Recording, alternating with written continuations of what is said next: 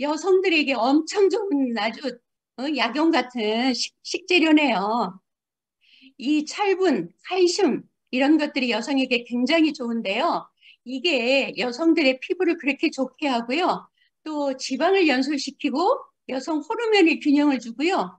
혈압이나 냉증, 어깨에 여성 호르몬, 그리고 철분 균열 이런 것들을 다 해소시켜 주는데 하루에 큰술 4개 정도를 먹어도 된답니다. 그렇다면 우리가 한 주먹을 먹어도 되는데 사실 이거를 어머 너무 많이 먹어서 안 돼라고 걱정할 필요 없죠. 왜냐하면 충분히 먹을 수 있는 양이다 그 말이거든요. 그래서 참깨를 우리가 한번 먹어봅시다.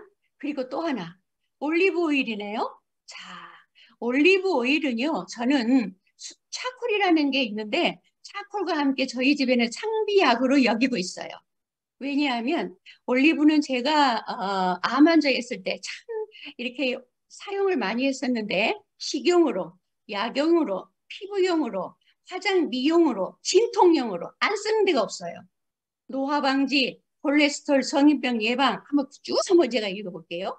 고혈압 예방, 소화 위통, 감기능, 변비, 뭐 당뇨, 혈당, 피부 보호, 뭐 트러블, 살균, 항암 효과, 그리고 통증까지 진정을 시켜준다고 하는데 특히 태아나 청소년 성장을 촉진시키기 때문에 우리 아이들에게 먹여야 돼요.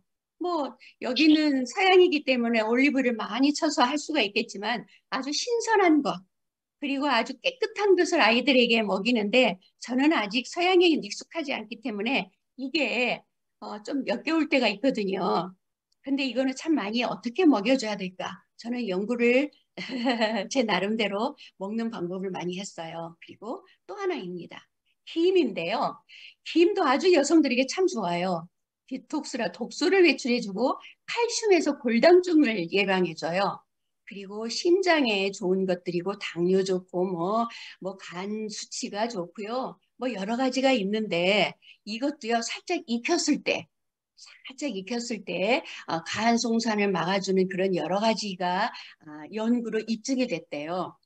한국의 김이 1년 수출량이요. 뭐 작년으로 해서 1조가 넘었어요. 그리고 바다가 없는 이런 나라에서는요. 우리나라에서 수입을 해서 약용식품으로 사용을 한다고 그러거든요. 그런데 문제는 장기 보관해서 변질이 잘 되고 우리가 김을 너무 좋으니까 사다 놨다가 제대로 안 먹으면 변질될 때가 있잖아요. 아니면 딱딱하게 굳을 때가 있어요.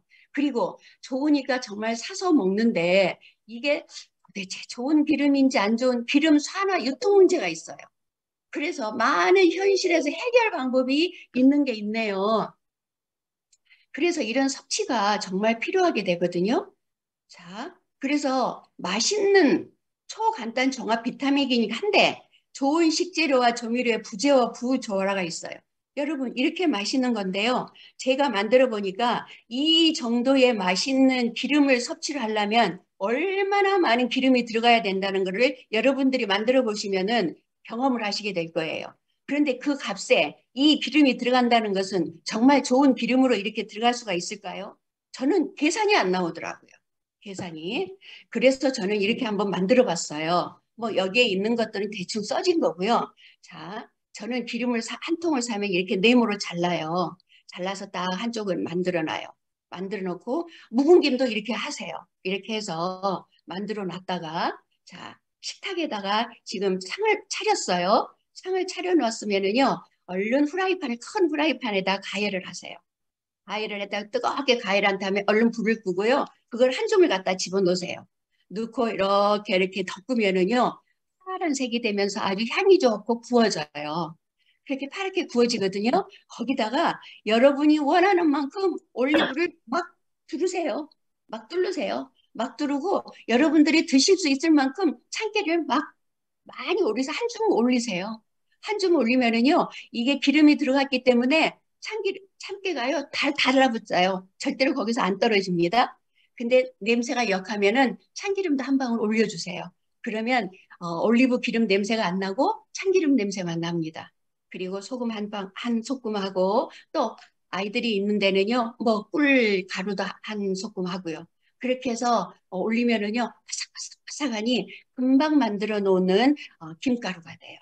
그렇게 해서 하면은 한 끼에 된다. 아, 저기 통깨라 그게 잘 흡수가 안 되잖아요. 맞아요. 통깨로 먹으면 흡수가 안 되는데요. 얘가 켜켜이 켜켜이 기름으로 쌓이기 때문에 어떻게 돼요? 안에 들어가면은요. 파삭파삭파삭 하면서 깨져요. 식감도 좋고요. 그래서 아주 신선한 어, 올리브 오일과 참깨와 김을 함께 먹을 수 있는 것이에요. 그래서 여러분들이 순두부로 어, 김국도 한번 잡숴 보시고요. 김전도 한번 만들어서 그렇게 집에 묵혀 있는 게 있지 말고 한번 잡숴 보세요. 그래서 10분 만에 완성하시고 가정에서 어, 좋은 걸 드시기 위해서 구운 김을 하려고 하는데 시간이나 또 그대로 놔둬버리지 말고 시간 전략도 하시고 종합 비타민도 섭취하시고 신선한 재료를 사용하시면서 한번 만들어 보시기 바랍니다. 오늘은 종합 비타민, 종합 동치미와 나박김치, 채소 볶음 세트를 만드시면서 여러 가지 이제 며칠 안 있으면은 어, 명절이 돌아오면서 새로 만들 반찬도 필요하시고 또 묵은 반찬도 처리해야 될 명절이 돌아오셨죠. 그때 여러분들 무엇을 하실까 할 때 요 한 서너 가지 중에서 한 가지 정도 예를 한번 들어보시기 바랍니다.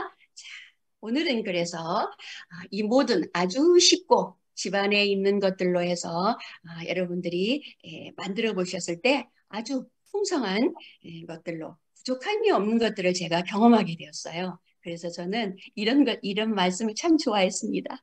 여호와는 나의 목자시니 내게 부족함이 없으리라. 저와 함께 오늘 저, 저와 함께 해주신 여러분들도요, 전혀 부족함이 없고, 풍족한 시간으로 풍족한 어, 생활들을 누리시는 아, 시간들이 되셨으면 좋겠습니다.